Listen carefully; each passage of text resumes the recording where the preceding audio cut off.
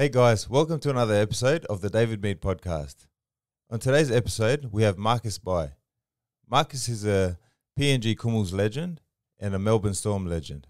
He's also a great family man and a great friend. Marcus, thanks to you for uh, coming on the podcast, mate. Uh, thank you, thank you. We met during the 2008 World Cup, and we've been pretty good friends since. Uh, the guys I speak to who know you well as well uh, say the same thing. And I know uh, that a lot of people know you, and you know a lot of people as well. Um, have you always been the type of person that keeps in contact with people, or was it something that um, was it a skill that you had to develop? Because the older I get, the like people like yourself and others, they tell me this is a good skill to have because later on down the track you'll be f- you'll be friends for life. So, have you always been that type of person? Um, no. Um, look, when I was growing up, I was um, you know very shy person, um, and and my kids got it now as well. I can't I can't get them out out of it. Um, obviously, I was shy until I think it changed when I went to Melbourne, uh, 90, 90 um, 98, where it comes to a, a team meetings and, and I don't say much in meetings. And um, um, Chris Anderson, and I think probably third game or fourth game into the uh, season, and Chris Anderson and Steve Anderson pulled me in and uh, and and have a chat with me about not involving in in the verbal uh, communication with uh, with uh, with the players they asked me to start talking and and obviously put myself out there so that so that um, you know the rugby league itself is the team is about a team. It's not about one person. I I found it really difficult because as I was growing up, also I was always a shy person in terms of um, within. I only say much within my family, not people that I don't don't know. Yeah. And obviously got some some insight from you know um, Tawera Nikau had, had a bit of that and start talking to me to build my confidence. And he said, you know, Tawera said to me, if you can play, if you can come in and take the ball forward and aggressive like that, then you can start, you know, expressing it within the within the group. That way, your participation within the group is as well. The players will get to know you, and and I think one thing one thing on that is because my English wasn't that good as as you know we uh, finished grade 10 in Papua New Guinea in 89 and um, and go back home and and work in in in, in DEDS, uh, not only DEDS, but it's the village, uh, the company in the village, UDC, uh, Ulamona Development Corporation. And during the time in 1990, when I finished school, and and the people around us was the people that we know when you know we speak openly, but when we get out, we some of us were that shy uh, it changed that in 2018. Uh, sorry, sorry, not 2018, uh, 1998, with the culture that the Melbourne were building that time, and and um, uh, late Mick Moore, Mick Moore was there, and he basically played a massive part in, you know, saying things about me about Papua New Guinea that makes me, it's a, it's it's fun, but it makes me defend it, and I and I talk more about Papua New Guinea, who we are, and etc. etc. and um, and I started to know uh, uh, Tracy, his wife, and, and the kids, and uh, the two daughters, and and um, the son, and and that's the relation started to grow from there, and and that's how that's how I started to have that confidence in talking with, and obviously having good friends. Um, as halfway of the season went, and good friends with Aaron Moule, Matt Geyer, and the whole of the uh, the old boys. Um, and still, still my talking within the um, within the uh, the team meetings were no no very very limited. Mm-hmm. Um, it was just one of those things that it started from there. And Chris warned me. Chris Anderson warned me. He said, "You need you need to talk. If you don't talk, you're not here in this club." And that was the turning point of of my career, where when I was talking to my big brother Stanis, he said to me, "Well, you need to put in put in an effort in what you think about the game." you need to put into the group. If you don't, well, that's not participation. And man, you know, I've got seven other br- brothers that um, you know they obviously been successful within their own rights, and they all say the same thing, and that really changed me from then. Because a lot of uh, players I find, Pacific, uh, specifically, uh, you know, Pacific Islanders or uh, I know PNG players in particular, very shy to express their views uh, in the team environment. Obviously, we will grow up in that environment. You know, we're pretty comfortable with now in the village setting within our family. As soon as we're taken out in a work environment, I think uh, you know it's, it's pretty important to express your uh, opinion, express yourself around the especially work environment or sporting teams.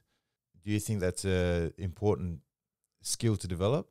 Yeah, that's the biggest issue with you know um, uh, within our PNG boys, and uh, and I know it goes through the South Pacific Islander boys who grew up in the islands, uh, not so much maybe in New Zealand who grew up there and here in here in Australia, but uh, to our to our boys in Papua New Guinea, as you know from the Kumul from the Kumul uh, aspects of it, when since 2016, and the hunters are having the same same same issue where our boys need to stand up and and it's not so much stand up. They they need to to address their view in in a group in a group meeting Yep. in terms of say what they think so that the coaches can see where where the boys are. Uh, when they don't say much, and if only two people talking, uh, and I, I can feel for Matt Church, he can't get he can't be communicating, and he's trying to do extra work to be able to communicate with um, um, uh, with the boys. That is an issue. How we're gonna solve it? Um, it's up to it's up to those boys if they wanna they wanna play in NRL. Um, those are the things that those are the requirements. They they need to put themselves out there, not to talk so much, but to ask questions. Yeah. Um, if they're having issues, they need to talk about it. Uh, it's okay, as what I hear. It's okay to come out and and talk to their coach about what the issue is, so that the coach and the management team can solve the problem. Um, and even though that's that's in the hunters, um, and it's same in same as well in in the Kumuls. Yep. And only yourself and and the Australian-based players will say much, and maybe us the boss and and and few other boys, few other boys will not say much. Yeah. Um, but the PNG boys who've now been into Australia and England, and that they will say their view, which is um, which is which is good. But I I just hope that they start doing that in the Digicel Cup, and when they do it in the Digicel Cup, then when they come to the Hunters, it's another step up to uh, a bigger understanding of where the Intrust Super Cup is going. Yeah. The more they ask questions, the more th- they're gonna get answered Yeah. and then the more they how they wanted to play. I knew that because during my time I, I had the same thing. I had the, all these things that all through the year I never said it to anybody. Yeah. And I, I had a relationship with um, um, Steve Anderson, who's our assistant coach, and Gregory uh, Brendel, where I let everybody, all the players left for home in the afternoon. Then I'll, I'll go and I'll, I'll sit for an hour and a half or two hours. Then I'll go and see Steve Anderson and ask him, hey, Steve, you know, um, I find it hard to understand what we talked about today. Uh, can you explain th- so that I can understand it? And then Steve will end explain. Steve Steve Anderson actually coached me the whole time that I was there. Um, he coached me after after hours, and we're still good friends now. Um, I still ask for his opinion about things. He's a very smart man. Um, rugby league, he knows in and out of rugby league. He's someone that that I think that will educate our Papua New Guinea young boys because through the three years, the four years I've been with him, he knew me from inside and out Yep. and took out the bad stuff of Papua New Guinea that I have and educate me into knowing the game itself. And I'm still learning as I went because obviously I didn't I didn't start playing Yeah. playing rugby league till I was what finished school in 89 17 18 year old that's when I started That's when you started. Um, bit of a later age to start than yeah most others. yeah Let, us talk a little bit about um, where you were born in PNG and uh, what was it like growing up there? Yeah, I was born in um, uh, a little village. Uh, original name was Ubili, Ubili village, but the Germans uh, came in to colonize, obviously, the village um, uh, and brought Catholic Church there. Um, they changed the name to Ulamona, Ulamona, which is now represent our area. About 2,000 people living there at the moment, maybe 2,000 plus. Um, I was brought up in a you know a, a family of ten. Um, mom and dad subsistence farming. Uh, dad, as an 18 year old, um, work with the Catholic missionaries, you know, sweep the floor uh, as a start, and then uh, cleaning the you know the German German the missionaries, the brothers, the priests, the nuns, clean the house, flower beds, um, clean that, uh, cut the lawns, and Mm. during those times, uh, you know, they got a long grass knife, Yeah. and and he's a dad was a very hard working guy, and he spent as an 18 year old until I was born in 72, until I think 75 or 76, he he he retired as a as working for for Catholic missionaries in. Um, so when he retired, 75, I think was 74, the Catholic missionaries gave him some money to be able to start a shop, start a, a shop in the village. As they help him to build up this shop called Ulamona Development Corporation, where he during the time 76 they started, and during the time he he advised everyone to be the shareholder 10 kina as the shares into the company that the company owned by the, everyone everyone in the village. Anyway um, why why he started business is because uh, we got a sawmill logging. Logging has been going on uh, has been been german catholic church has been harvesting logging for since ni- 1885 so 1985 i was in grade 6 was the 100 years of logging in our in our village so, and that's why the German missionaries were there and supply all the sawn timbers to Rabaul, East New Britain, and whole of New of New Britain Island, Yeah. uh, to Kavieng, to Manus, and and, and Bougainville, etc. Um, yeah. Well, we had obviously I got 10, 10 in a family, eight eight boys and two girls. Brought up in a village way, and dad was a very tough man. Um, everything is about time. Everything is about so you sweat, you get a reward. You don't sweat, you don't get a reward. Um, you you do something wrong, it build the crap out of you. Mm. Um, it leads to all my brothers been successful, my two sisters been successful, and and to me, so I hard, hard work, discipline, oh, that is being on hard work. time. I'll just give an example. We finished school in on Friday, and during the week, if he says to us, um, um, "You three boys, Leonard, Fred, and Marcus, if you finish from uh, from school at three o'clock, three thirty, you should be at um, help um, walking up to to this area where your mother will be, and carry all the firewood and all the stuff back home to the village, Mhm. uh, back to the house. You don't do that. You don't eat in the afternoon, and trust me, you don't eat in the afternoon. Mom will serve our food, and mom is always a mom. Mom is always as a mother Yeah. They'll serve the food and then dad will take our plate out and toss it out into the dogs his hunting dogs and we'll be sitting there tears in the table eh, while every eh, um, others you know Mm. uh, all our other, uh, other brothers eat it teaches us, teaches a lesson that you listen um, you do you work hard as he said you sweat you get a reward Yeah. but mom mom always put spare on the side to come up and when dad is asleep he comes up and said hey hurry up and eat it and, uh, and then you can go to bed.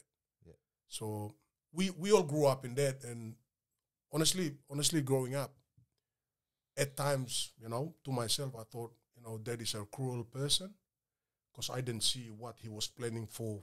And then when i went to grade six in 85 uh, he said to me you need to go to you must go to high school. If you don't go to high school there's no point living in my house. And when he talks to me his eyes were tell the story Mhm.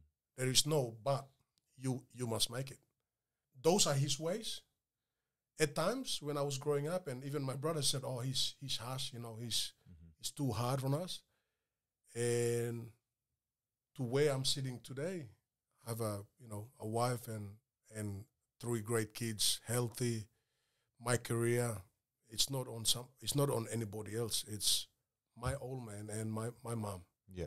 My mom support her to make it work, even though she was as a mother put little little bit of things on the side for us to eat. You know, mothers will not see a, a son or a daughter daughter get hungry. Yeah. Um, but dad was a very tough man, and and I know uh, our our guys in the village will be looking at this, and he said what I said is hundred percent. Uh, that's the hundred percent truth. Yeah. As in the village, they call him the big boss. He is the chief. He is the last chief in the village. Yeah. Um, when he says something, everybody follows. I don't know how he did it. Um, it's just the trust in the village that everyone, everyone in the village of 1,500 or or 900, less than 2,000 people just listen to him because he is the person. Because when he says something, he goes ahead and he does it. Everybody sees him. Everybody follow. And because he worked with the Catholic missionaries for for a long period of time, they have the trust. Everything they're gonna, the Catholic Church will give it to the village. They go through my dad to explain it to everybody in the village.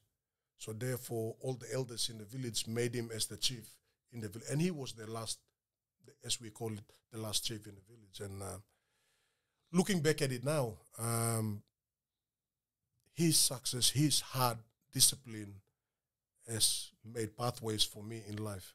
Um, that to me, you know, I tip my I tip my head to him. Every time I go back there, I'm a bit emotional, but every time I get back there, I'll go to his grave and you know just kick the dead there. And he said, you know, dead, thanks. Mm. There's nothing else to say. Yeah. Um, so I got great kids and and and family and and and my wife and and more people that I know. It's like the question you ask. Um, how do you started to know these people? It's just over the after '98 season with Melbourne Storm, I started to gain confidence in talking to people, and and I know, and, and still now, my wife will say, everybody will go to the dressing room and, and have a shower and come out and go and see them. I'll be still waiting for another hour because I'm that slow that coming out and shaking hands with people and paying that respect to the fans who come out. And then I'll be in the um, clubhouse shaking hands with everyone and she'll come and take my bag. And it's because we were brought up in that respect arena in our family, you don't walk away from that Yeah. ever. Even though I was what two thousand kilometers from my father, he was still alive that time. It it stuck in my it's in my blood. I, Yeah. I, I couldn't get it out. It's very stay with you. They like you know these people drunk, really drunk. And said, "Hey, Mark, you know, blah, you know." They come up and hug me, and I said, "Hey, how are you?"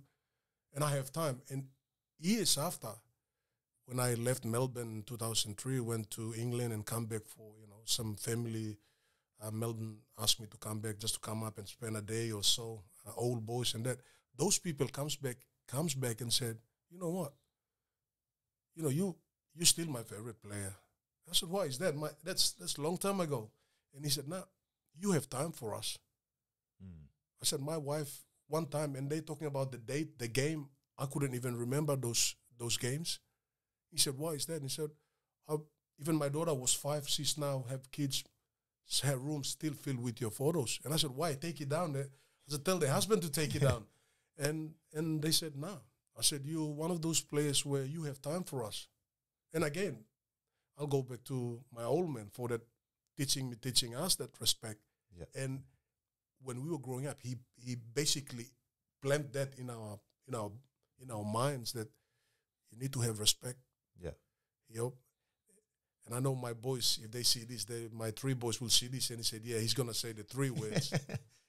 um, Dad always say to us, you know, respect, honesty, and trust. And my my son Eston said, "Why do you put him in the line like that?" And I said, "Because Dad Dad always say, when you respect someone, you return the respect." And then when you when you respect, you're honest with somebody. You're honesty with somebody. Somebody will give you that honesty back, and then the trust follows it as well. Yeah. When you have that, you got good family. When you have that, you got people will look at you and they respect. They honest. They're honest to you, and they'll be trustworthy to you. Yeah. And that goes through our family, and and hopefully it goes through our our- our extended family. But for my three boys, that will not go away. That will stay within them, and it's paying off, paying off within the school, and and and hopefully they can continue what our old man, what my old man has done to us. Yeah. And all I want is my three, the three boys to to be able to do that. And that's that's an awesome story with you know filled with so many good values, so many good um, lessons for a lot of families out there. What last night I was watching on on YouTube uh, this American guy's reactions to the PNG and crime, the crime in PNG, and how the people are brought up. Just seeing his reaction, thinking, "Man, where is this place? How is this happening? And how are people?" Obviously, the cameras, the documentary is focused just on that part of Mm. PNG. So I, I got I got to see just that side of PNG, just the a lot, a lot of the crimes that are happening. Yeah. And you just see the videos. Um, you know, people the people who are committing the crimes. They're they're just trying to they're trying to provide for themselves and for their families. You know, it's obviously bad to do, and but at the end of the day, they're trying to provide for themselves, look after themselves, and that's that's the way they've found to do it. Uh, where I'm leading towards this is, now your dad must have known you need to do this kind kind of stuff so you can stay away from, you know, that type of lifestyle. And I find that with a lot of um, you know guys that I've spoken to, having those good family values about respect, trust, leadership within their family is really important to stay away from that, away from the crimes because I don't know what the employment uh, opportunity is after you finish school in PNG. I think the numbers are very low, uh, especially from when you graduate from uni. Doesn't guarantee a job. So I think your dad must have known you need to do this, and this needs to be a part of your DNA Look, that up. that that comes from a family of his father is a hard man as well. He's he's tough, and when we, when we say you and I say tough, uh, everyone in Papua New Guinea know exactly what we're talking about. Tough means get a cane out and smack the crap out of your kids. Mm. But dad dad always say, Marcus, I may not see see your kids grow up, or you might because I invited him for my wedding. He didn't come because he doesn't think that the plane will stay up in the air for that long. for that long. So um, he's still living in the um, in the forties, I think. but um, but dad always say this. I- I remember this. I remember this, and this would be passed on to my boys. Is dad always say, teach your kids when they have not start talking yet. And I said, why is that? Well, I do that. I did that to you boys, to you kids. Now, going back to the crimes and in Papua New Guinea, that's that's how we live. Mm. Um, some of us, you and I, Justin Olam, Johnny Wilshire, we were lucky, brought up in in, a, in the family. It was tough, but not so tough than two million of other kids, Yeah. three million of other kids in in in, in our country. Um, and then they're brought up in Mosby, where their moms and dads are not, you know, w- not with good money. So what do you do? They have six six boys and and, and, and kids, you know. Uh, they go to they go to they gotta go and do something. They know it's they know it's wrong, Yeah. but they still they do it. It's, a lot of them get killed by the by the police and and but at the end of the day, you know, it's a big challenge to our government and and I know they are working hard to try and, and minimize minimize minimize those um, those issues and you know I mean f- for me to me I look back at it as in Australia it's a developed country and we're still developing and you got the kids from grade go to a school from grade or prep all the way up to grade 12 Yeah. in Papua New Guinea we don't have that luxury uh, our our curriculum and, and, and all that in education is different it brings out the the great kids who are very knowledgeable in Papua New Guinea, but it's only a minority. Yeah. The rest, maybe eighty percent of that, goes back home and chew betel nut and uh, smoke, and and maybe another thirty percent will do other things that in the mines and and be trade and all. Um, yeah, it's a honestly, it's a very hard thing for everyone, and all we can do is, you know, for us as rugby league. Um, um, uh, ex rugby league and yourself still playing, and um, uh, for us is to get that message out there to our young boys and young girls.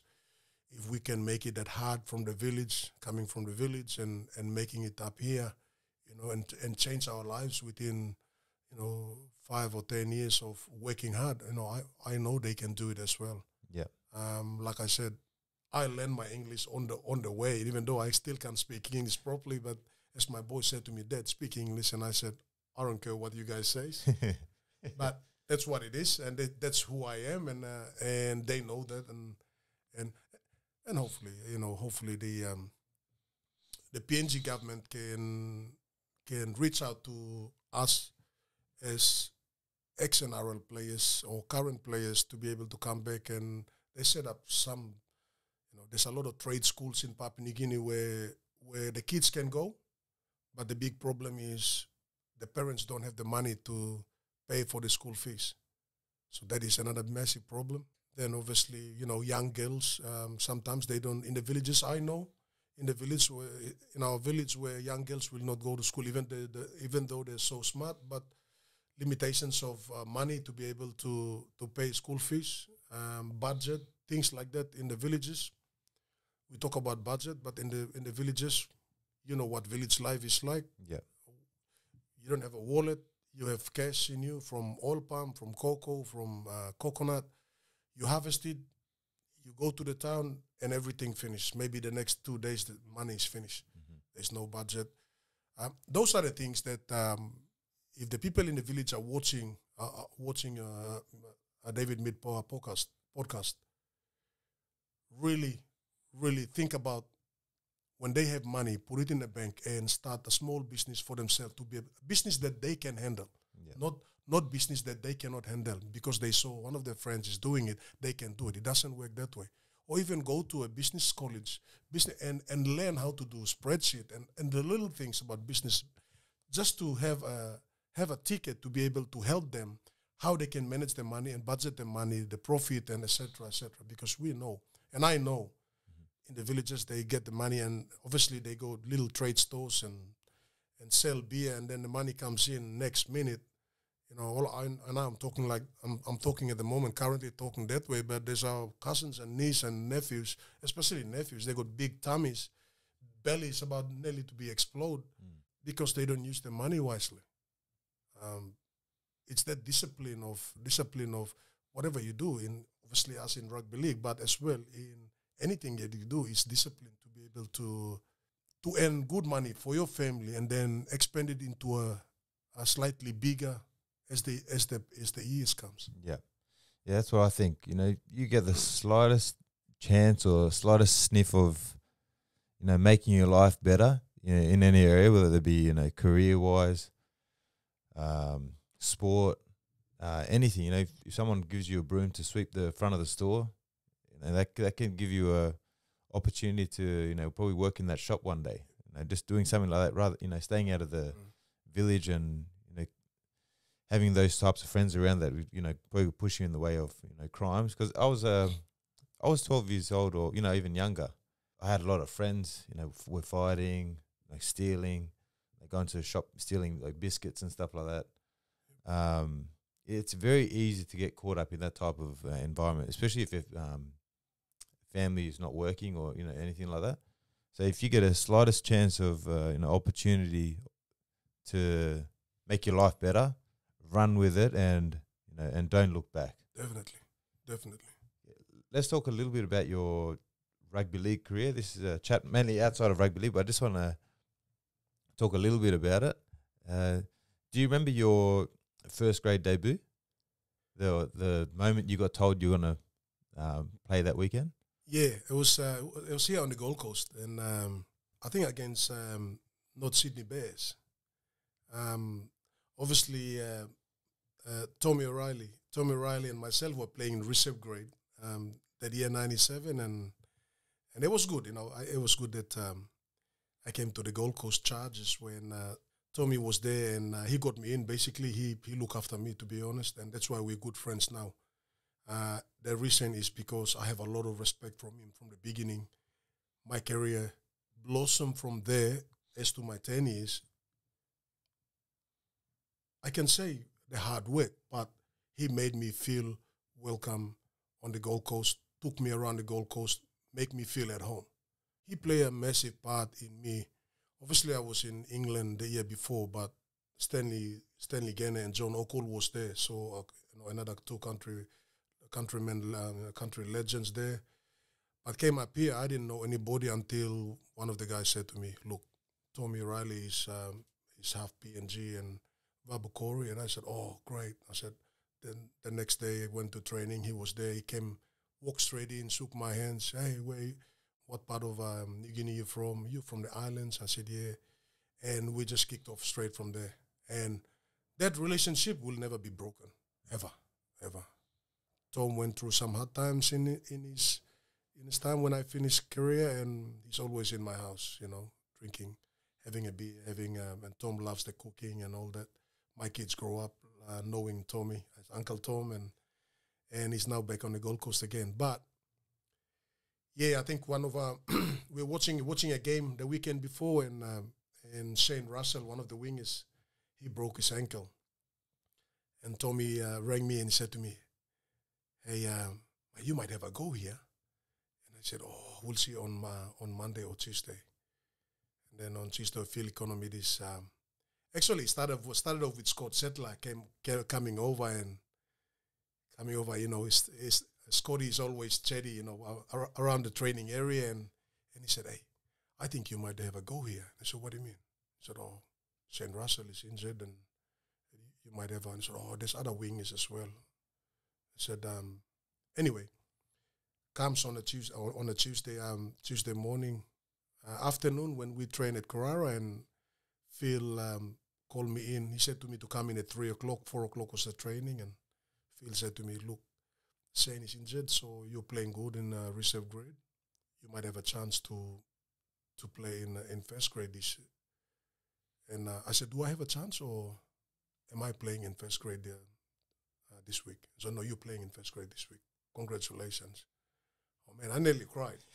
Um, uh, I walked outside and went to the little went to the car that the, the club gave me opened it open it open the car get my nokia nokia the old nokias Yeah. and dial my brother's number and i couldn't get through because there wasn't any any um there wasn't any credit uh, credit in it and i keep blaming now i remember that time I, tommy came over and he said i just heard that you you made oh congratulations he said oh tom thank, thank you so much i feel bad because they didn't say anything about Tom. As you know, coming from like you want your mate to be there, but it's not the way it is. And um, and then I think a week later, Tommy came and joined us, and we never looked back from then. And uh, I was lucky to um, to play on the wing and outside um, um, Graham Mackay. So Graham Mackay, I think it was Graham Mackay or um, Wes Patten. Uh, Wes Patten put on a cutout pass, and then Graham Mackay, because he's a big man, played in the center and just offload this ball. And I got Chris Caruana standing in front of me, and all I went up and went out and step big left foot step step in, and the try line was only like five meters away. It was the first touch of the ball when when and scored. Yeah. Oh, Yeah. How good. Um, oh, it was so good. Um, I still still remember the day I I walked out and and uh, I was so happy. Anyway, that night, I that night when they told me on Tuesday that I'm in the first grade, I rang my brother from Tommy's phone. Tommy's still complaining today that uh, the bill was still there. anyway, um, I rang my brother and I said, "I'm on. I'll um, I'll be playing in first grade today, and we'll be on Channel Nine on uh, Channel Nine on a Friday. I think it was a Friday." And um, he actually there's only one phone in the village, so he rang the uh, the German missionaries' uh, phone phone number and and told one of our officers, one of our, our cousins there, that um, I'll be on the um, I think it was on a Friday night. So they had to hire hire hire you know big trucks, you know the the ten wheelers, the big trucks that carry all palm and Yeah. and gravel and all that. They hired they hired 250 kina to take the whole heap of boys and girls to go to town in Bialla town just to look for look for TV to watch watch a game out there. Um, it was good. It was good. That, that week they told me, said, "Oh, it's so good to uh, to watch, to see you play on TV. You're you're one of us." Yeah.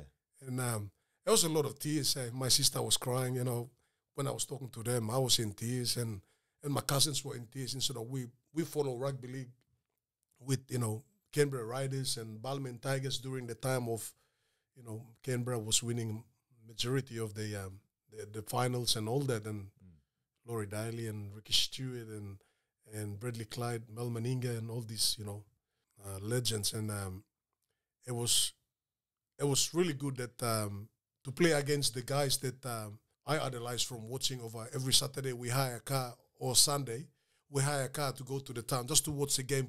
Put SP on the um, on the uh, SP on um, on the car and on the truck, and then drive back home, standing up for one hour all the way back to the village. Um, yeah, that was that was the best life. Uh, Looking back at it now, that was the best life ever. uh, To be honest, Yeah. nothing to worry about. Uh, we stand at the back, just stand, hold on to the walls of the truck, having a beer and throw it you know, throwing the throwing the bottles over there during those times where, Mm. you know, now that uh, the boys can, you know, can just stand on the TV from the, you know, from the from the houses and watch a game, and I remember those days. But um, it was a special, it was a special, it was a special time, and um, I think the following week we played um, Roosters. That's when I, I was looking forward to the game because to play against Adrian and um, Let me and, hear. and Adrian was our, and obviously we look up on Adrian. 1994, he played in the in the state of origin, and you know, Adrian played a part, massive part in my in my career in in introducing Sam Ayoub as my manager for five years there, or basically the whole ten years. Uh, Sam looked after me, and and thanks to A- Adrian for for watching over, you know, what we are doing now to our uh, Hunters boys and the Kumuls. Yep. You know, it started from from long time ago, and Adrian played a massive part in looking after myself, Stanley, and John Okul during the time, and then the, the boys underneath it, boys under under us, we decided to try and help them as well. And Yeah. Johnny Wilshire and his brother William Wilshire, you know, they spent a lot of time with the Kumuls as well. So Yes. Pass it forward. yes, Um, you spent uh, time in Melbourne, uh, and you always speak highly of that club. Um, to you, what makes them so special? Can I can I start by saying everything in Melbourne was taken from the Brisbane Broncos, and they planted the seed in Melbourne. When you look at the person who started Melbourne, it's John Ribot. John Ribot was part and parcel of Brisbane Broncos success success of Brisbane Broncos. John Ribot came to Melbourne. He brought with him Chris Jones, legend at the Broncos, and and a rugby league legend as well. And he brought Mick Moore, who is as a Copa and a late Mick Moore is a Copa and part of part of uh, the Broncos as well in terms of the people around Wayne Bennett, uh, Bob Bennett, and the family, and and makes that that that that was the culture. And I remember, and and not a word of a lie, every Melbourne Storm players during the '98 season, and '99 season, and in the old days, and even Cameron will, Smitty, and all these boys will know, will know that most of the things came from the Brisbane Broncos. N- I've never seen players, ex-players from Melbourne talks about this, but I'll say this: every administration in Melbourne Storm during that time, 90% of them came from the Brisbane Broncos. John Ribot, Chris Jones, M- Michael Moore, the development guys, they all come from Brisbane Broncos. Everything. And, I, and, I, and I'll say this, David. In the 1956 Olympic arena where it used to be Olympic Park, and the building was, was there before they demolished it and now built it, obviously AAMI Stadium and mm-hmm. you know the new. Now in there was a, there is a there is a meeting place underneath underneath the car park, which and then you go up to to the gym, our gym and and all that. Every wall, every wall, every wall around our training, our training um, uh, facility, where the gym and and the gym and where we eat and everything, it was big big photos of Brisbane Broncos players. Glenn Lazarus was with us, but Glenn Lazarus and Andrew Gee, Wendell Sailor, uh, Michael Hancock, Willie Carne, Kevin Walters, all these big name players who were with the Broncos, Chris Jones. We were Melbourne Storm, but the surrounding around us was all all Brisbane Broncos. Hmm. And no older players will say that I, I'm I'm I'm telling lies here. That is the fact. We walked in on the 7th, sorry, on the 9th, 9th of November 1997. And John Ribot said to us, We're going to build this club like the Brisbane Broncos. At the end of his speech, he said, We're going to be successful because we're going to take what's in the Broncos and we're going to put it here and we're going to build it here as a family club. And that family club from the Broncos is going to be here. That's it. the culture, the structures. Uh, Steve Anderson um, was part and parcel of the coaching and and the CEO helping Chris Jones to be able to work to work within um, the administration of, of Melbourne. For the whole 12 months of 1998, from 9th of November till till the November 1998, it was all Brisbane Broncos. You know, by the time we started winning and winning, and then when we lost, we lost in the finals against the Brisbane Broncos 36-6 or 8 or something in the first our, our first ever final. We came back and obviously Mad Monday was up. So the boys said, "Hey, we're gonna get rid of these um, Brisbane Broncos. They they beat us pretty badly, eh? Next now, next year now, let's start the let's start the Melbourne Storm. You know, you know, obviously, but but basically everything was came from John Ribot and Chris Jones and the people who got involved and the chairman chairman of, of the club and you know people who were successfully with the Broncos during their time in the early 90s and um, they built they built uh, Brisbane Broncos went to Melbourne and built built Melbourne same thing yeah uh, psychologist that was with the with Wayne Bennett for a long time as well he came out in the first couple of years to be able to help us you know, with the, to help us within the place. I know I've been part of it, and and I think Craig Bellamy coming from the Broncos with that with that structure and the strong and the winning the winning structure, the winning um, um, uh, system that he had, he came in with. He doesn't have to look far when the same structures. I suppose coming from the Broncos to the Melbourne, it was everything was the same. All you have to do is, you know, uh, but you know, he, he worked harder than anybody I I know to be able to build uh, to build the club for what he wanted. To me, to myself, thinking about it, he came in and and the training was was the preseason training that I that I had with him. It was it was tough. It was very tough. And Matt Geyer said to me, it was tougher the years after that. Just the way, and obviously coming from Canberra and, and and then going spending how many three years with the Broncos and then coming to Melbourne, he had all the winning, he had all the winning culture in him. Uh, and when he came to Melbourne, now he's the boss. You know, he put all those, um, I suppose, good seeds into the young players that that, that was coming up. Lucky enough, well, I, I shouldn't say lucky enough, but all the players during our time that the six six years were going down, and then you got um, you know uh, Cameron Smith was 20 years old coming up, Billy Slater, Ryan Hoffman, um, Nathan Friend, um, Dallas Johnson, all these players, um, and and and a whole heap of them coming from uh, uh, uh Devils, um, North's Devils, and they all come up. And he had this thing about. I remember Craig saying to me, saying to us, "We're gonna pick the second tier and the third tier players." that's fine. But we're to work with what we got. Otherwise, we're going to be spending a lot of money to try and buy players. I'm not going to do that. We're going to build the players. That was how many years ago? That was what, 20, uh, what, 18, 19, maybe 20 years ago? 19 yeah. years ago. It's now 19, 19 years. Mm-hmm. That was 19 years ago.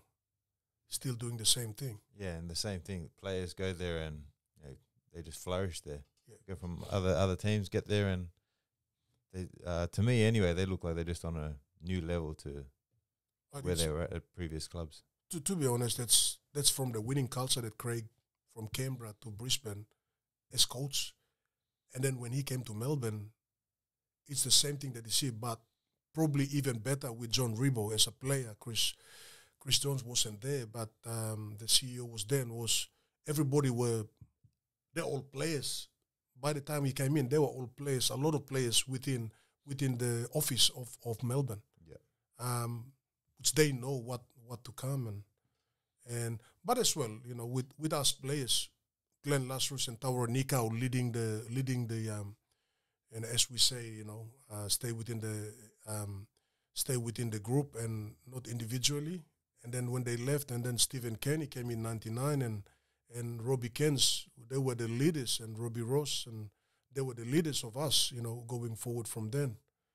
And and obviously Stephen Kearney and and Robbie Kearns left in 2004, maybe 5 mm-hmm. And by then, they already built, you know, Cameron Smith and Matt Geyer was still there, uh, having to be able to put in place that that culture was driven by then the upcoming, you know, with Cameron Smith, Billy Slater, Ryan Hoffman, all these boys have learned from those from those players. Yeah. And and obviously Ryan Hoffman, the connection with his father, with uh, knowing Craig, and that relationship and the family bonding bonding was was that strong. They go in then they work hard. They didn't ask for big money until they start representing uh, representing obviously New South Wales, Queensland, and then you know obviously they deserve that and Yeah. and that's how it's supposed to be. I think. Yeah, for sure. Let's change uh, direction just a little bit. Uh, for those that who don't know you, uh, you know, I don't want to embarrass you by you No, know, no, no. bringing up some of your achievements. Um, Oh. Yeah, because I know you've got a lot of them. Yeah, I just wanted to mention that you're, you know, one of the few players. I was looking up. I didn't even realize I was looking uh, looking you up on Wikipedia uh, a few days ago. Uh, you're one of few players who has won an NRL Premiership, a Super League title, a World Club Challenge, and the only top trophy that you could win in at at this level is the Challenge Cup, uh, in which I read that you know Hull FC scored with uh, minutes Yeah. Uh, you know, when you think about that, it's a pretty amazing achievement, um, especially when it, um, a young kid coming from where you came from uh, in PNG, and not there's no real pathways that were I'd imagine were in place for young players to go to a next level. I think I saw on an MTV interview you did that. There's a little article written about you, and then someone saw that and got you to go play for the um, was it the Vipers? The Paga Paga Panthers. Pa- Paga Panthers, Yeah. and that's kind of where it it took off. Um, have you ever thought about it like that? I I said it so many times. I think when the when uh, in Melbourne uh, through the um, documentary, the Channel Nine documentary, when they did a story on me, and um, and I sort of mentioned that was the probably only time, probably the second time was in England when when I went to Bradford and um, they did a story on someone was very interested about the, my past. Um, yeah, same like you said. You know, I was playing playing in the village and um, in the in the town. There's only the, the town competition started in 1990, and then from 1988 to 1990, and then, as you know, administration, um, you know, went somewhere, um, and then they started again in in in 1994. And one of our one of our guys from Bialla area area uh, is working for Post-Courier, and he was on holiday, and he came up watched a Sunday game and saw the saw the game, and I think I must have scored two tries to be I think to win that game from our from the the village, the club that I played for in the village. Anyway, he wrote a little, probably uh, I'll say about about my finger of the local leagues around Papua New Guinea. You still see it on Post-Courier. They still put that local leagues. Now it's gone a little bit bigger, Yeah. but during the time it was only probably three lines.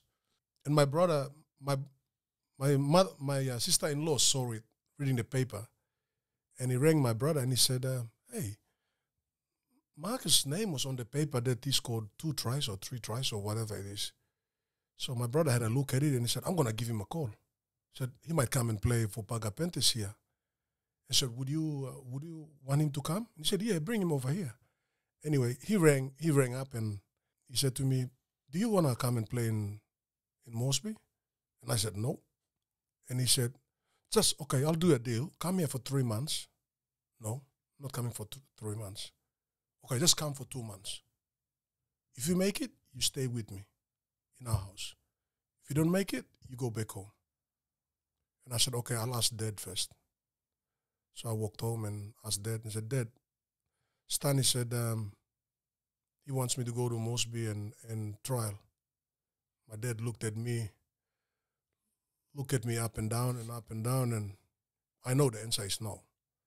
He said, um, "You gonna is he gonna give you something in life later on?" I said, "Probably not." Well, you know the answer.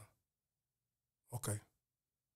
Tomorrow I'll go back to the um, Catholic mission area and I'll ring Stanis.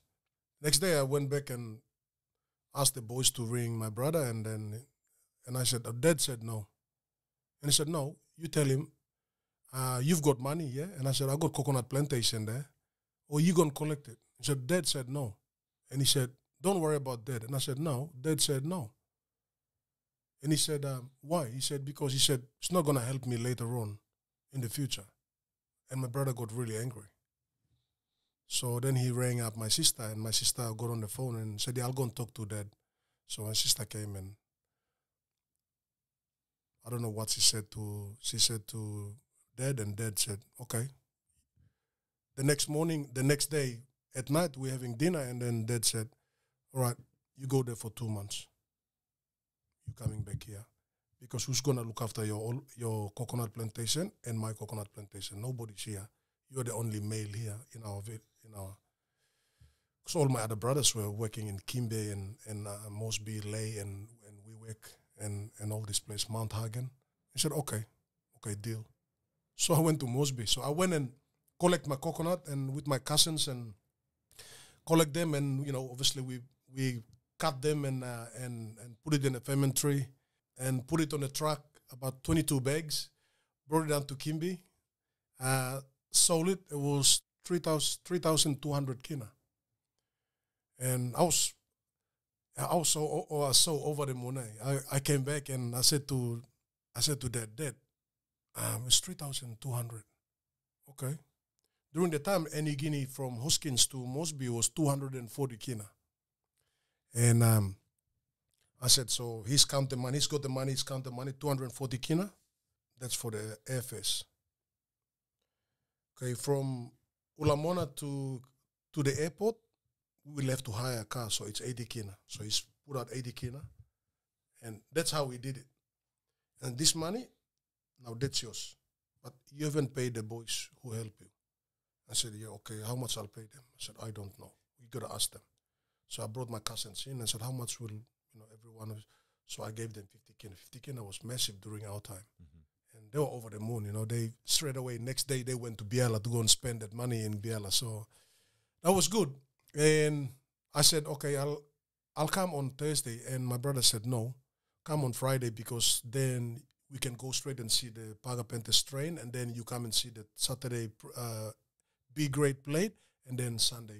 And that's what we did when I came to Mosby, I was after I watched the game, I didn't sleep that Sunday night because I was so scared. The, the guys were bigger and they got massive beard, massive beards and ugly looking guys, you know, ugly looking guys. And I said, this guy's gonna kill me. You know, rugby league in Papua New Guinea is you gotta be the man to play that game. Yeah. And I said, you got Steve I'm. you can see that Steve I'm coming in and connecting into your face. Um, man, and, and, and playing in Bialla Bialla League is a guy, you know, you're you're running the ball up and you look at him and he's he's looked at you and he's gone. His arms are like this and his and his mouth is like You know, you know when you see that you need to have you need to suddenly, if you don't know how to step suddenly, you got to develop a stepping stepping stepping um, stepping culture in, in your brain to step out of that because if you run through the, if he's hold his arm like that, you're dead. you know, you'll be lying on the ground and the, and the referee will say play on. He'll be going out of bed anyway. All right. Um, Awesome. Um, mate, Marcus, I could talk to you for hours and hours on these topics, and I I would love to have you on again next time Sure. because there's a few topics we didn't cover. Uh, it's the, you know, we're talking about your uh, Kumuls, uh, your time in the Kumuls, and know, several other topics that uh, uh, I know that people will enjoy um, hearing from you. So I just want to thank you for your time today. Uh, thank you for your insights, your stories. Uh, I've certainly learned a lot more about you that I didn't know, and I appreciate that. And this this is an episode I'm excited for a lot of people to listen to. So, you know, thank you for making the uh, trip from Gold Coast, and uh, you I hope you enjoyed it. No worries. I really do enjoy it, and um, it was good. Uh, obviously, David, thank you, and um, thank your wife as well for us, and um, and the family. Um, I think it's it's by times things like that uh, stories like that, uh, like this goes out to to the young kids nowadays in back home, obviously back home, and and um, you know other kids that here, my kids as well. They've never they've never heard these stories, some of those stories like that. So which is good. So um, as soon as it comes out, we'll be uh, playing it for them, and uh, and and I won't watch it because I know I don't like watching, watching myself on. Uh, but anyway, thank you so much. Appreciate your time. Awesome. Thanks, Marcus.